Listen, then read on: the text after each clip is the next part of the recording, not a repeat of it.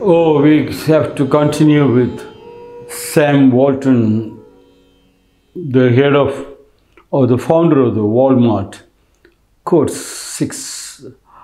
Sam Walton said, I probably have traveled and walked into more variety stores than anybody in America. A shocking statement, the head of the richest company goes from shop to shop and to almost all the shops than anybody in America just to just not to find out the prices but to find out how the staff are dealing with the customers.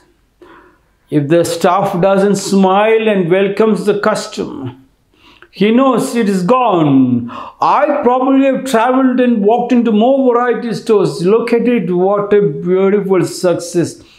What a beautiful quote. What a beautiful language from Sam Walton. It has come out as if it has come out from the Bible, Quran, Bhagavad Gita, the gospel of truths. Yes. Only such truths can come from such people. Look at him. He can sit and ask people to go and check, but he personally goes. Personally going is very important as a leader. You should lead and not yield to pressure tactics. The um, head of every family, the father or grandfather, the joint family crashed because they were authoritarian. They don't go down to talk to other members. They just throw orders. And that has destroyed the family, the joint family, and the family tree. And some of the richest countries in the Far East, they have taught, and you can see almost everybody looking at, they see anybody across them, they bow, they, right, yes, they greet each other. Greeting is very important, but those greetings are not there now here and in most of the countries. And if you can understand what Sam Walton said, I probably have traveled and walked into more varieties. I've traveled, um, travel means I traveled across to my father and mother.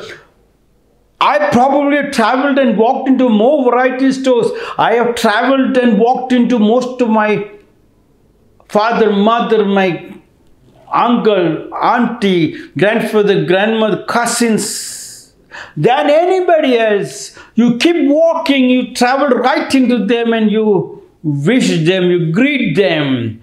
And uh, you have the richest. How to walk into and be the richest. It is simple.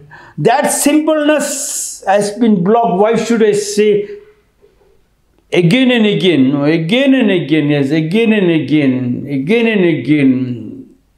There was the only strength of Rakum School. Whenever a senior walks in or whenever they see me, they have to say, Osh, Guruji, Osh, Namaste Guruji. Osh is Japanese and Namaste is India. And people say, what is the whoosh bush sound? That created a magnetic field for people, most of the people to walk in. Look at them saying Osh together, Namaste together, yes.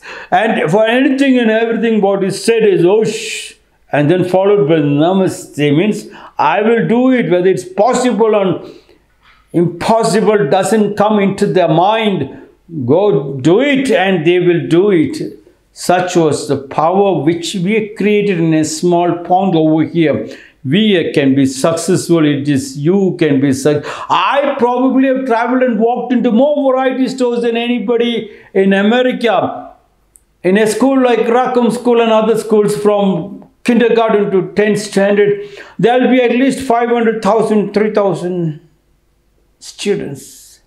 And if you come across and wish or greet to your younger ones. Hi younger brother. Or younger sister. How are you? Or after some time you start talking using their names. In your mouth how many twists and turns has come. You are the greatest gymnastic gymnast in the world with your tongue